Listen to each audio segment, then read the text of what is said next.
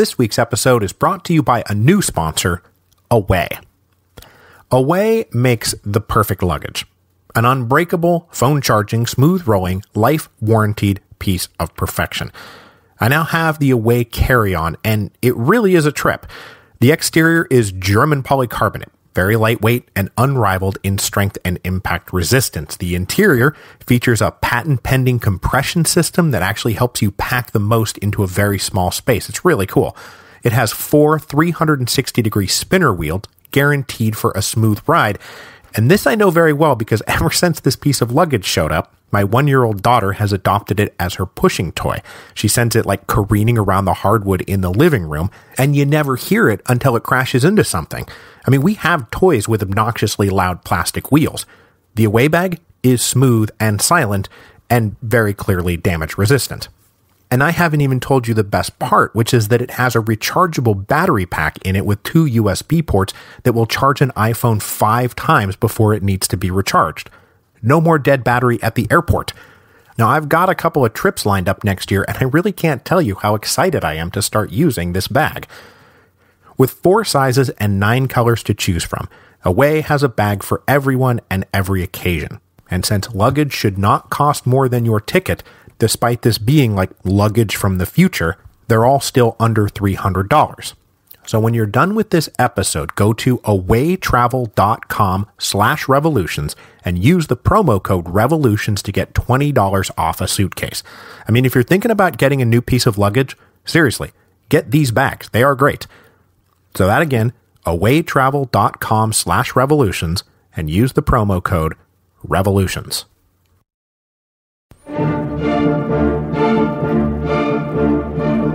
Hello, and welcome to Revolutions. Episode 5.20 The Seawolf. So, I just want to start by saying how much I appreciate all the support we've been getting at revolutionspodcastfundraiser.com. When this episode posts, there will be just 10 days left to get your stuff and support the show.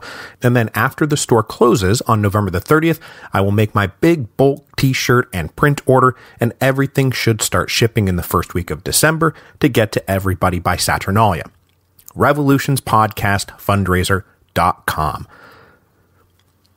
So last week, we brought Jose de San Martin, Bernardo O'Higgins, and all their friends through the Andes, where after a couple years of fighting the Spanish and arguing amongst themselves, they all liberated Chile.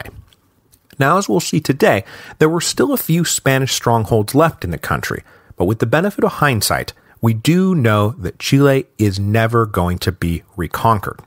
And with the Patriots now in control of Chile for good, Jose de San Martin was able to go back to his planned invasion of Peru. And after liberating himself from the government of Buenos Aires in July of 1820, he could now pursue the final boss without distraction. San Martin's plan was to use the small but growing Chilean navy that was anchored in Valparaiso to ferry his army up to Peru and then converge on the capital of Lima from all sides, landing armies that would besiege the capital by land while using the Navy to blockade it by sea. Now, it was a fairly audacious plan, given that at the moment San Martin's army was not more than 5,000 men, while the Spanish still had just shy of 25,000 men spread out across the territories they still controlled in Peru and Upper Peru. But that 25,000 was dispersed all over the place, and San Martin was betting that if he could be bolstered by Peruvian recruits, that the liberating forces would always be able to at least match man for man any Spanish garrison in any given area.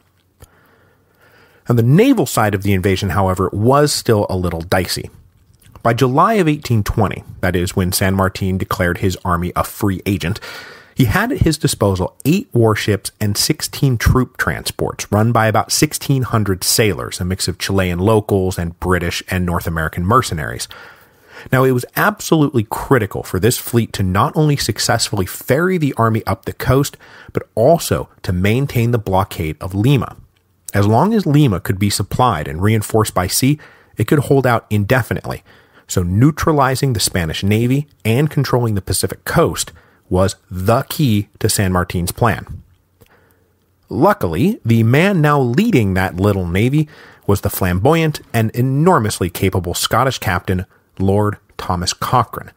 And though Cochrane and San Martin would come to hate each other's guts for a variety of reasons, both good and bad, Cochrane would turn out to be the man who made sure that the key to San Martin's plan was properly turned and the great viceroyalty of Peru was finally unlocked. And because Cochrane is so important to this phase of Spanish American independence and lived quite a life both before and after his adventures in Chile, the best way to explain the liberation of Peru is through the eyes of the sea wolf. Lord Thomas Cochrane was born on December the 14th, 1775, into an eccentric family of Scottish nobles. His grandfather, Thomas Cochrane, the 8th Earl of Dundonald, was a career army officer and occasional MP who sired a dozen children, including eight sons who lived to adulthood, a cohort of brothers who would all enter into various aspects of military and political life, some of whom would wind up respectable, some not so much, and some, like our man Thomas, a bit of both. Of this horde of Cochranes, who all came of age at around the same time, the Earl of St. Vincent, who, as First Lord of the Admiralty, had had cause to deal with most of the Cochranes at one point or another, said, The Cochranes are not to be trusted out of sight.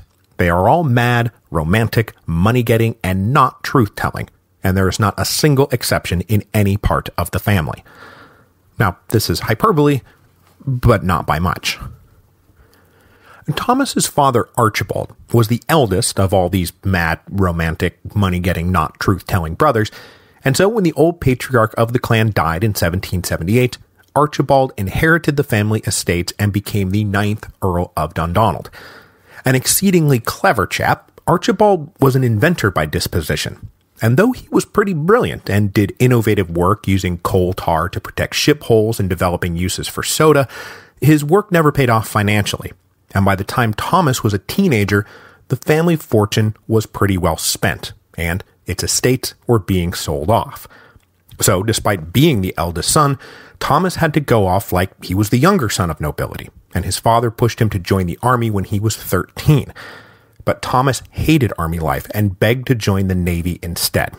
Finally, his father relented, and in 1793, at the age of 17, he was enrolled as a midshipman in the Royal Navy, which, as you'll notice, was just in time for him to get in on the beginning of the wars of the French Revolution.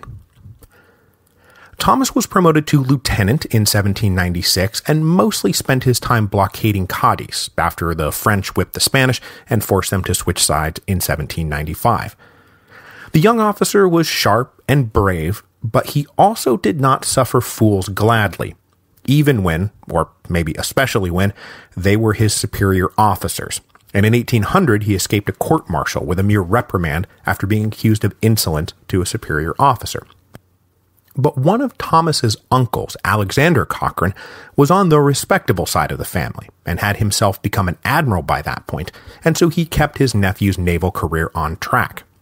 And before we move on, I should mention that this uncle, Admiral Alexander Cochrane, just so happened to be the governor of Barbados when Francisco de Miranda and the Leander expedition came through in 1806. Admiral Cochrane offered support and a place of refuge for Miranda, before and after the failed invasion, and it was Alexander Cochrane's letters back to the ministry that led the British to take Miranda back into their employ after he returned to London in semi disgrace. So, after dodging the court martial, young Thomas Cochrane got his first command, and from the beginning showed off his daring and knack for cunning deception that would define his career. He escaped a Spanish patrol boat by pretending to be a Dutch neutral merchant ship under quarantine he captured a Spanish warship and all 263 sailors on board with just 48 men after tricking the Spanish into thinking reinforcements were on the way. He took down some anchored French privateers by attacking in boats with all his men, leaving only a skeleton crew on board his own ship, and that skeleton crew used a complicated system of ropes and pulleys devised by Cochrane to make it look like the warship was fully operational, when in fact there weren't even enough men left on board to fire the guns. A few months later, Cochrane then successfully destroyed an entire French merchant fleet by sneaking his men up into the fort that was supposed to be protecting them as they sat anchored in the harbor, and then blasting them out of the water with the French army's own guns. After being briefed on the exploits of Lord Cochrane, the Emperor Napoleon himself dubbed Cochrane the Seawolf. The British public ate all of this up, and Cochrane decided to parlay his fame into a political career. The Cochrane clan was always coming in and out of Parliament, and Thomas decided to get in on the action. After losing an election in early 1806 after refusing to buy votes, Cochrane didn't make the same mistake twice. And in the spring of 1807, he was elected MP from Westminster.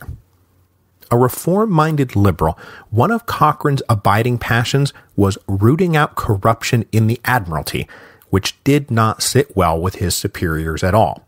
So shortly after he took his seat, they ordered him to sail at once for the Mediterranean coast, where he could kill Frenchmen and not make any more trouble for them. There, he again performed splendidly, raiding the coastline as the French began their invasion of the Iberian Peninsula. And in late 1807, Cochrane famously held Fort Trinidad and delayed the passage of a 6,000 man French army for two weeks with just 80 men. When he finally had to give it up, he rigged the fort with explosives and blew it up so that the French couldn't use it. But Cochrane ran into major problems in 1809 when the irresistible force of his talent ran into the immovable wall that was the Admiralty. A small French fleet of 11 ships had escaped the British blockade at Brest and was now raiding around the Bay of Biscay. Finally tracked down to a small channel near the so-called Basque Roads, sea lanes south of La Rochelle, and the French now occupied a strong anchorage in a channel between two islands, and they could only be rooted out with extreme measures, and Lord Cochrane believed he had such measures in hand. He presented to his superiors improved plans for fire ships and exploding vessels of his own design.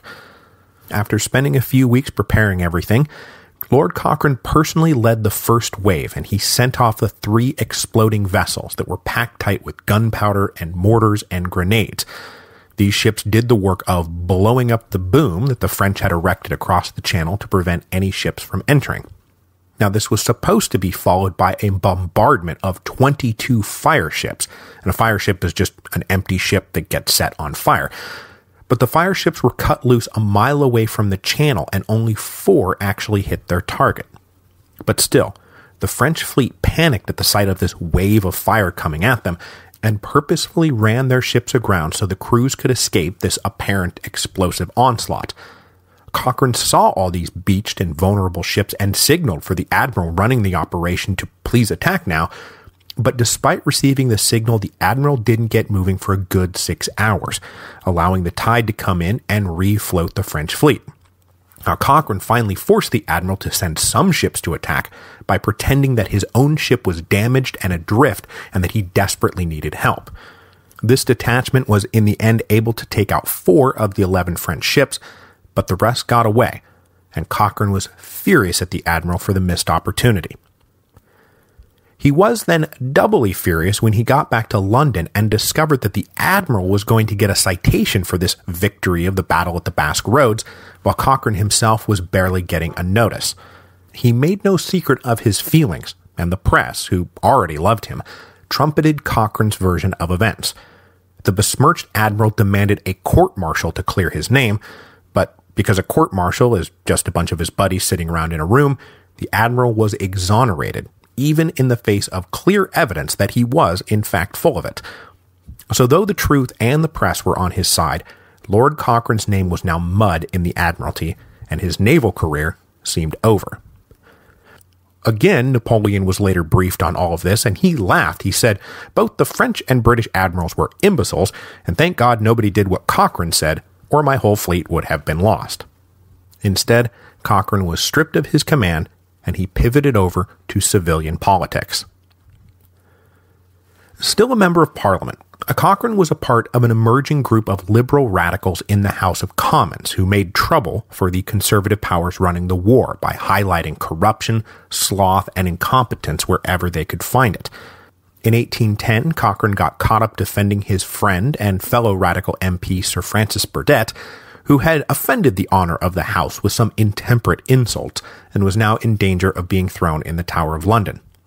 With agents on the way to pick his friend up, Cochrane rigged Burdett's house with explosives and seemed sincere about his willingness to blow the whole place up rather than let Burdett be taken alive. When Burdett realized his friend was serious, he diffused, almost literally diffused, the situation and was taken into custody and temporarily tossed into the tower. Now a confirmed gadfly and pariah in polite society, Cochrane then fell in love with a 16 year old common girl named Kitty, who he then proceeded to marry for no other reason than love. His uncle Basil, the richest now of the Cochrane brothers, disinherited his nephew over the marriage, cutting Thomas off from really any promise of a comfortable life. His failing fortunes are what made the real scandal of his career so believable, even to those who liked him and wanted to believe the best of him. So, just as we talked about Gregor MacGregor and the Poyais scheme as one of the most audacious scams in economic history, we're going to talk about how Lord Thomas Cochrane was implicated in one of the first great stock market frauds. Indeed, it is called the Great Stock Exchange Fraud of 1814. On the morning of February the 21st, 1814, a man claiming to be the personal aide to the British ambassador to Russia disembarked in Dover with extraordinary news. The French Imperial Army has been decisively routed in eastern France, and the Emperor Napoleon has been killed in the fighting. This message was then confirmed and relayed up the post roads to London by three French royalist officers, spreading the good news that the Bourbons had reclaimed the French throne. This stunning news spread like wildfire through London, and when it hit the city, the London Stock Exchange went nuts.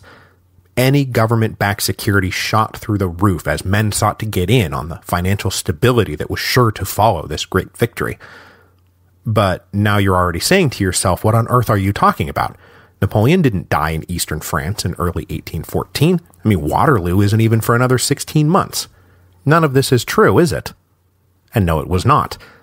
By the afternoon, the government had issued a stern rebuttal of the rumor, and the victory bubble burst as quickly as it had formed. It did not take long for the authorities running the London Stock Exchange to suspect deliberate fraud had taken place, and combing back through the records of the biggest winners of the brief bubble, they came across the name Andrew Cochrane Johnstone, the youngest of the mad romantic, money getting, and not truth telling Cochrane brothers.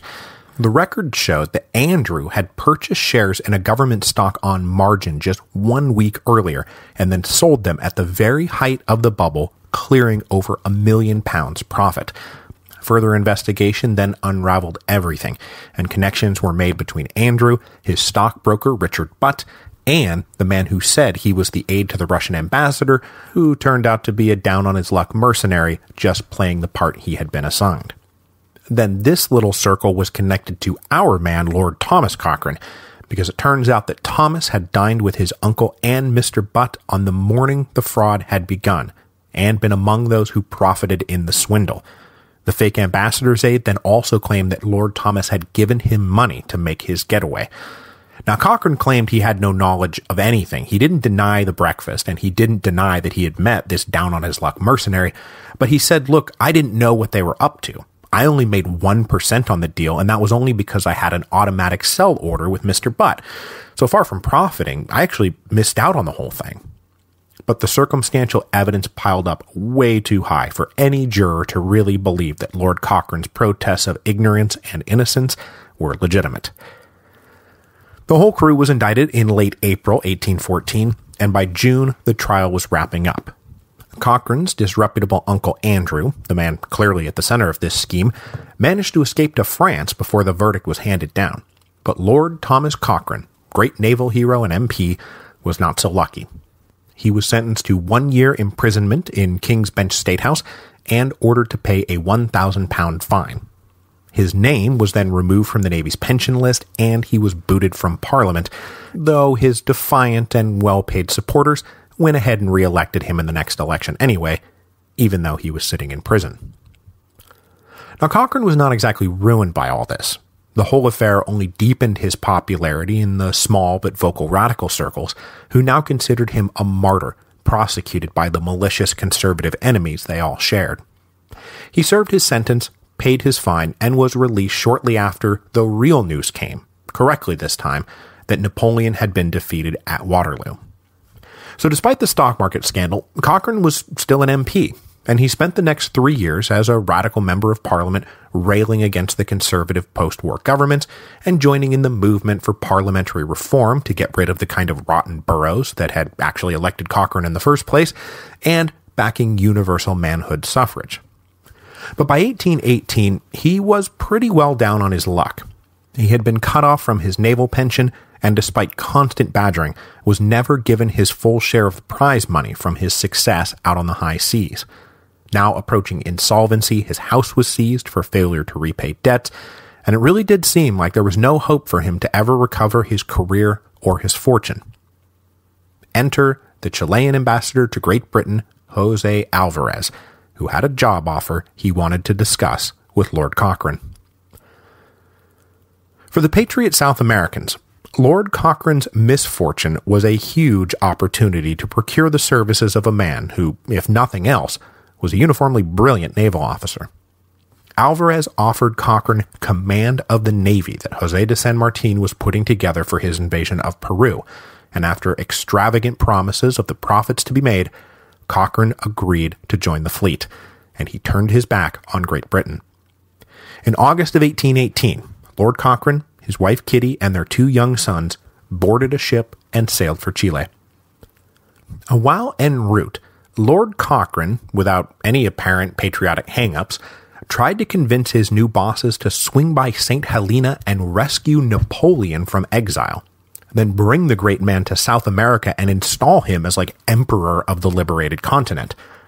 The Chileans apparently listened politely to all this and said, yes, well, we've already gotten word that the viceroy in Peru has landed an invasion force back home, so maybe we should just keep moving, okay? Now, by the time the ship docked in Valparaiso in November 1818, that invasion force had long since been destroyed by San Martin at the Battle of Maipu, which we talked about last week. And for Cochrane, at least, the situation really was as it had been described to him back in London kind of a rare occurrence for British officers recruited to serve in South America. General San Martin and Supreme Dictator O'Higgins had by now acquired a little fleet of seven warships, some of them purchased in England, some in the United States, and a few others captured on the high seas, including what became Cochrane's flagship, a 48 gun frigate rechristened the O'Higgins. As the new vice admiral, Cochrane's job was to get the fleet into real fighting shape and hopefully make some effective cruises up and down the coast to clear space for the invasion of Peru. The bulk of the Spanish fleet, 14 warships in all, was stationed in Lima's heavily fortified port of Callao. Neutralizing that fleet and blockading Callao was Cochrane's overriding mission, and in January of 1819 he sailed out on his first voyage as Admiral of the Chilean Navy, he dropped most of his ships outside Callao so they could begin a blockade of shipping into Lima, while he himself conducted raids up and down the Pacific coast. Well versed in sea raiding from his days in the Napoleonic Wars, Cochrane found the coast of Peru easy pickings, as most of the natives had never had to deal with anything more than the odd pirate. But the chain of command in the Chilean Navy was still a work in progress, and the man Cochrane had left in charge of the blockade, and the man he had replaced as commander of the Chilean Navy, by the way, claimed that he was short of supplies and inexplicably sailed back to Valparaiso in June of 1819. So, returning to Valparaiso and reasserting his authority and regrouping the fleet, Cochrane promised to break Callao by the end of September, and he sailed back up the coast. Always the explosives expert, Cochrane hoped to use a new type of rocket he devised to bombard the main fortress of the port, but they did not work as well in practice as they did in theory, and Cochrane was forced to break off the attack without doing any real damage at all. So then, on his own initiative, he abandoned his attempt to capture Callao and instead decided to try his luck further south. Now, though the Battle of Maipu had saved Chilean independence, that did not mean that the Royalists were gone for good and down south of Concepcion, there was a particularly hard iron nut that they could never crack the fortresses of Valdivia. Ironically built by Bernardo's father, Ambrosio O'Higgins, when he was Captain General of Chile, the heavily fortified mouth of the Valdavia River was called the Gibraltar of Chile, and would forever remain an entry port for the Spanish if they decided to come back. Lord Cochrane got it in his head that he wanted to go take it. Cochrane combined every trick he knew to take Valdivia, which was defended by a string of seven different forts plus an island castle, collectively manned by 1,600 Spanish soldiers and 118 cannons. In all of the wars of Chilean independence, the Patriots had never come close to seizing Valdivia.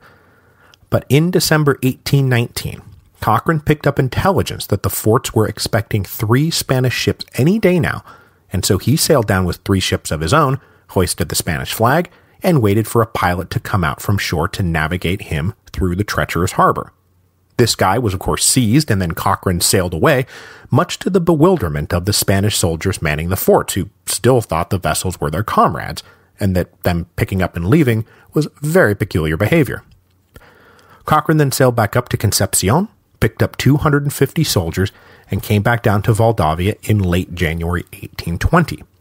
But as he was making preparations to attack, his ship, the O'Higgins, accidentally ran into a reef, and though it was patched together, was crippled and taking on water. So Cochrane transferred his 250 men to two smaller ships, and then, using the intelligence they had pumped from the captured pilot, they flew the Spanish flag and sailed on into the harbor just as confident as you please. And it wasn't until they were practically landing that the soldiers in the forts put together that these were not, in fact, their comrades.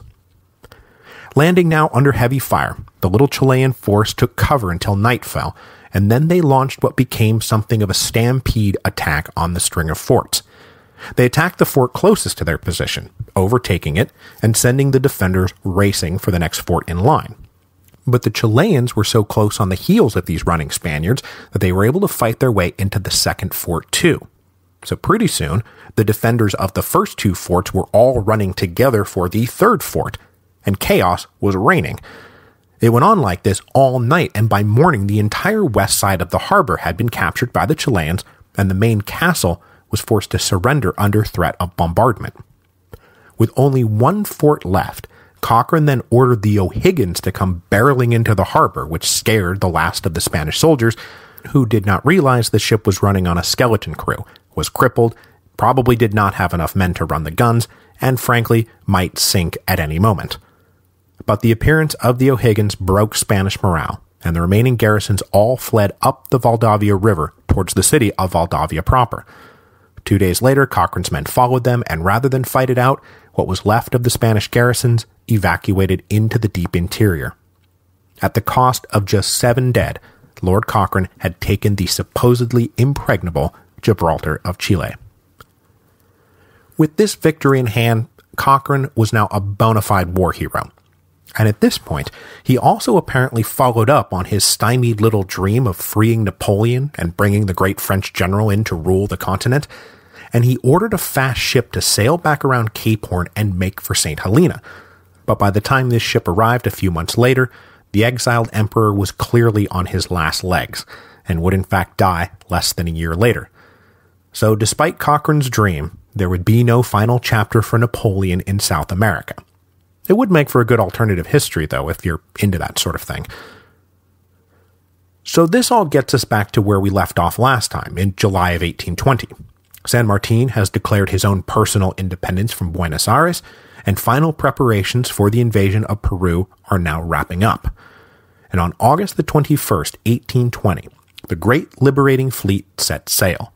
Now with eight warships and 16 troop transports, manned by 1,600 sailors, Cochrane's Navy ferried San Martin and 4,100 men north, landing first at the Peruvian city of Pisco, 150 miles south of Lima, on September the 7th, 1820. San Martin disembarked his forces and hoped to raise more recruits from liberated slaves in the region, but the owners had been tipped off that he was coming, and so they moved everybody inland, and the Patriots were only able to raise about 600 new black soldiers. Ever careful, though, San Martin stayed in Pisco for a good six weeks, sending about 3,000 men on a great sweeping march in through the interior to clear out local Spanish forces, raise more men, and then converge on Lima. But the sitting around and doing nothing started to rub Cochrane the wrong way. He was chomping at the bit, and he started making reckless accusations that General San Martin was in fact a coward who was afraid of actual combat, and San Martin got understandably sick of Cochrane's impatient carping. He had a plan. It was going to work. Just relax. But unwilling to sit idly by, Cochrane went a little rogue. He led a few ships back up to Callao, ostensibly on a reconnaissance mission, but really, Lord Cochrane was just looking for some action. Spying the Spanish flagship, the 44 gun Esmeralda, anchored in the harbor, Cochrane decided to seize her. Orchestrating a daring night raid by boat on the night of November the 5th, Cochrane and his men took the crew of the Esmeralda completely by surprise. The Spanish sailors offered stiff resistance, and Cochrane himself was wounded in multiple places, but after less than 20 minutes of fighting, Cochrane and his boys took the Esmeralda. The shore batteries were then alerted that the ship had been seized by the enemy and started firing their guns into the darkness, at which point any neutral merchant ship in the harbor quickly raised their prearranged light to signal their neutrality and sailed away from the fray to avoid the bombardment. Cochrane's men simply raised lights of their own to match the neutral signal and sailed away with them. The capture of the Esmeralda turned out to be a major turning point. The Spanish fleet was now well and truly cooped up in Callao and could not hope to break out without risking total annihilation. Meanwhile, the whole rest of the Pacific coast, practically as far north as Mexico, was now dominated by Cochrane's Chilean navy, and in fact, it was a direct result of these naval victories that the port of Guayaquil revolted in January of 1821, just a few months later. This was the revolt that led Bolivar to peel off Sucre to go capture the city before San Martin could claim it for himself. Controlling the sea had always been the key to victory in Peru. And though Cochrane and San Martin clashed personally and clashed over strategy and really clashed over everything, he kept up his end of the bargain, and he handed San Martin the key to victory. After the Patriots landed a second liberating force north of Lima, the slow strangulation of the capital began. With their forces now taking control of the interior roads in and out of the city, and their navy cutting off all hope of resupply and reinforcement, the population of Lima started to get nervous, and then they started to get desperate. In February 1821, the old viceroy was then overthrown by a more liberal Spanish general, though this was not at all in preparation of surrender, but rather to offer stiffer and hopefully more united resistance. While the situation inside Lima grew more desperate by the day, Lord Cochrane kept urging San Martin to attack, and San Martin kept refusing. Instead, he smuggled patriot propaganda into Lima and let it be known that he might start letting food in to relieve their suffering, you know, none of you are my enemies. Not even the Spanish garrison is my enemy, and they will never be my enemy so long as they do not meet me on the field of battle. San Martin was not a coward, but he did want to take Lima without firing a shot, and it drove Lord Cochrane nuts. But events kept working in San Martin's favor. In early July 1821, the new general in charge of the Spanish garrison announced his intention to pull all of his forces out of Lima and hole up in fortified Callao, leaving the capital itself wide open to attack. Terrified that a horde of black and Indians were about to come murder them all in their beds, the residents of Lima begged General San Martin to please enter the city and defend us. And so, on July the 9th, 1821, Jose de San Martin entered Lima. But as he had done in Chile, San Martin made it clear that he had come to liberate the Peruvians, not to rule them. Nine days later, he orchestrated the formal declaration of Peruvian independence. But the liberation of Lima did not mean the liberation of Peru. And up in the mountainous interior, Spanish forces were regrouping to hold their last precious possessions in South America. And San Martin's lack of adequate resources and his soon to be failing political reputation would come to hinder his ability to bring about the full liberation of Peru, leading his occasional correspondence with Simon Bolivar, his fellow liberator to the north, to turn into a more practical correspondence about how to join forces and enter the endgame of Spanish American independence. So we'll move back up to deal with Bolivar and that part of the story next time. But before we go this week, we have to wrap up with Lord Cochrane. Now, through his two and a half year service to Chile, Cochrane and San Martin had clashed repeatedly. Well, just days after the declaration of Peruvian independence, the two finally blew up at each other. As we'll see next time, the now essentially stateless San Martin was ready to leave Chile behind and focus on Peru. And to that end, he started talking about his desire to buy the Chilean Navy from O'Higgins and recommission it for the Patriot Peruvians. Cochrane was 100% opposed to the idea and thought the whole scheme reeked of treachery and betrayal. All the more so when Cochrane started demanding to settle all accounts for him and his men now that the war was supposedly over, and San Martin seemed to be deliberately stalling. On August the 4th, 1821, the two got into the argument to end all arguments. Cochrane accused San Martin of being a drug addled coward, and San Martin accused Cochrane of being a hot headed mercenary. Cochrane then stormed off, boarded his ship, and after taking the temperature of his men, led them north to track down a treasure ship that had been dispatched by San Martin to help pay for operations in the north. Cochrane overtook the ship, seized it and its treasure, and dispersed it amongst his grateful sailors. He then kept sailing, looking for any other lingering prizes he might catch, making it as far north as Acapulco by January 1822 before turning around and heading back to Chile. When he arrived in Valparaiso, he was greeted as a hero, doubly so because it was clear that he had defended Chile's honor and sovereignty against San Martin's manipulations. Cochrane warned Supreme Dictator O'Higgins that San Martin could not be trusted, but by then O'Higgins had come to rely on a secretary who really did not like Lord Cochrane at all, and so despite his heroic service, Lord Cochrane was becoming persona non grata. Now, Cochrane's adventurous life was not over, though. This was just the end of one chapter. At the end of 1822, he was contacted by agents from Brazil in much the same way he had once been contacted by agents from Chile. A civil war had broken out among patriot Brazilians who refused to be resubordinated to European domination, and they had launched a war of independence. And Cochrane agreed to take over their navy, just as he had taken over the Chilean navy. And so in January of 1823, he sailed back around Cape Horn, never to return. But his time in Brazil went much like his time had gone everywhere. He was successful in war, but squabbles over honor and prize money led him to depart Brazil at the end of 1825 under a cloud of mutual recriminations. He then went off and joined the Greek navy, who were fighting for independence from the Ottoman Empire, and he fought well in that war until it came to an end in 1829. So that's three wars of independence in a row for him. Cochrane then returned to Britain somewhat rehabilitated. He was re enrolled in the Royal Navy and got his pension back, and then he started getting promoted back up the ladder, eventually becoming an admiral. When his father died in 1831, he also became the 10th Earl of Dundonald.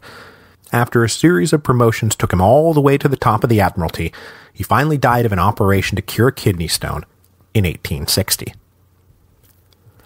But we are now far removed from our story.